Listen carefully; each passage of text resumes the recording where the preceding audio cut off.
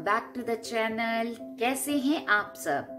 I hope you all are good and enjoying सर्दियों के season में गाजर आती है तो बहुत सारी चीज़ें दिमाग में आती है। गाजर, मटर की सब्ज़ी, गाजर का हलवा, और भी बहुत सारी चीज़ें, गाजर का जूस अलग अलग तरह की गाजर की रेसिपीज़ और ऐसे ही एक नई रेसिपी मैं आपके लिए लेके आई हूँ। मे भी हो सकता है आपने पहले नाम सुना हो बट मुझे ऐसा लगता है ये कुछ नया है। मैं बनाने जा रही हूँ तो सोचा आपके साथ शेयर करूँ तो बनाने जा रही हूँ मैं आज गाजर से संदेश। सही सुना। आप सब जानते हैं, हम बेसिकली कैलकाटा से हैं, ठीक है? और कैलकाटा के लोग दो चीज़, दो मिठाइयों से बहुत प्यार करते हैं। एक रसगुल्ला दूसरा, संदेश। करेक्ट अब संदेश विंटर्स में अलग अलग फ्लेवर्स की। विंटर्स क्या, गर्मियाँ क्या, कोई भी सीज़न ले अलग अलग फ्लेवर्स अलग अलग टेस्ट अलग अलग टेक्सचर अलग अलग डिज़ाइन बहुत तरह की आती है। ठीक है? तो मैंने सोचा, क्यों ना इस बार कुछ नया बनाया जाए, कुछ अलग बनाया जाए, कुछ स्पेशल बनाया जाए सीज़न स्पेशल बनाया जाए। तो मैं बनाने जा रही हूँ गाजर की संदेश। तो लेट्स सी गाजर के संदेश बनाने के लिए हमें क्या क्या चीज़ों की ज़रूरत पड़ती है? गाजर के संदेश बनाने के लिए जो चीज़ें हमें चाहिए, वो है गाजर। ये आधा किलो गाजर है, जिसे मैंने कद्दूकस कर लिया है। छन्ना, अब संदेश है तो छन्ना तो लगेगा ही। तो ये एक लीटर फुल क्रीम मिल्क था, जिसका मैंने छना बना लिया।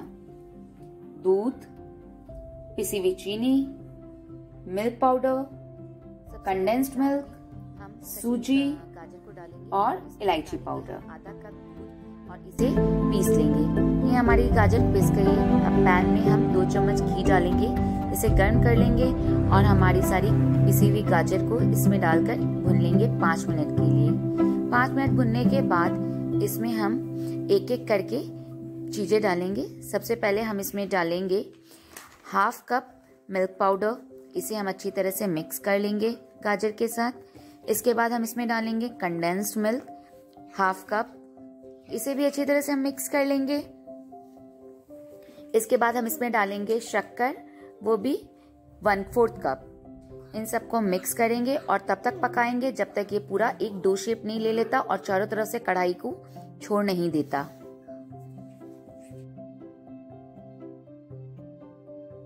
ये गाजर के मिक्सचर ने पूरी कढ़ाई छोड़ दी। ये पूरा एक डो शेप धीरे धीरे लेने लग गया।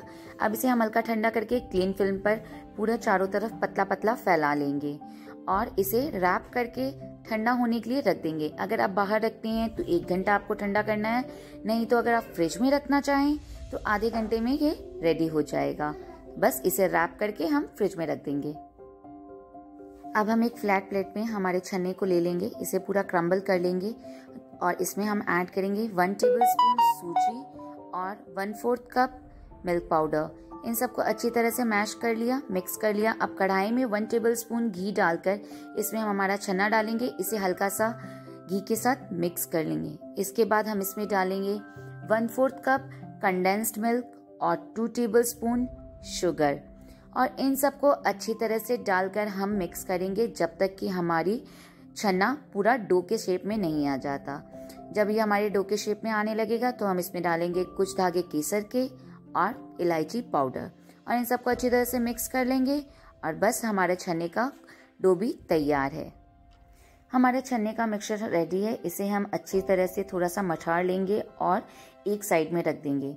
गाजर का मिक्सचर भी जो हमारा फिर फ्रिज में चिल हो रहा था, वो से हम निकालेंगे क्लीन फिर उनको खोलेंगे, आधा छन्ना लेंगे उसे एक लंबाई में सेट कर देंगे गाजर की लेयर के ऊपर। और फिर इसे रोल कर लेंगे जैसे हम स्विस रोल को रोल करते हैं। और फिर सेम क्लीन फ़िल्म में इसे रैप करके फ्रिज में वापस से सेट होने के लिए रख देंगे। जो पनीर का मिक्सचर हमारा बचा था, ये उससे हमारी केसर पिस्ता संदेश तैयार है। देखने में लग रही है ना? अमेजिंग ये बनाने में इजी भी है और खाने में भी यमी है। आपको दिखाती हूँ हमारी गाजर की संदेश कैसी बनी है। और ये है हमारी गाजर संदेश, जिसे हमने रोल करके रखा था। अब टाइम है इसे बाहर निकालने का और कट करने का।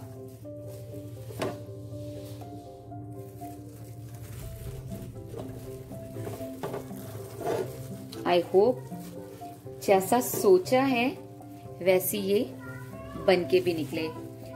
चलिए अब इसे हम करते हैं कट।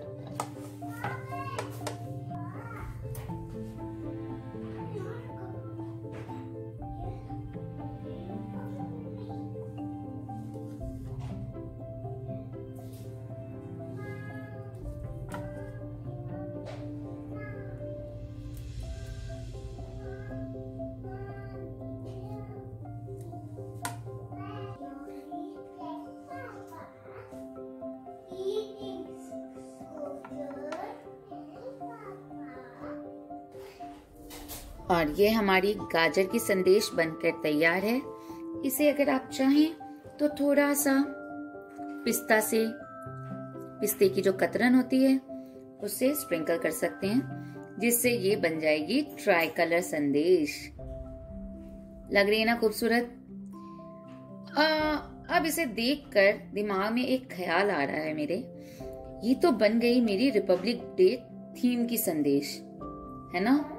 इसमें सारे कलर्स हैं. Orange white green wow it's looking absolutely beautiful and trust me ये ना सिर्फ़ देखने में इतनी टेम्पटिंग है, ये खाने में भी अमेजिंग है. अमेजिंग मतलब like oh my god what a combination तो please please please do try it सच बता रही हूँ अगर आपके घर में कोई गेस्ट आने वाला है और आप उन्हें ये संदेश सर्व करते हैं तो वो आपकी तारीफ़ करते थकेंगे नहीं। बोलेंगे कि हाँ मिठाई हो तो कुछ ऐसी जो यूनिक भी है और कुछ अलग है। यूनिक अलग एक हो गया। लाइक like, अभी मेरी मेरी खुशी जो है मैं बयान नहीं कर सकती कि कुछ नया बनाने की कोशिश की और वो चीज़ इतनी परफेक्टली निकल के आई। So please do like share and comment and subscribe to the channel till then stay tune bye bye all is well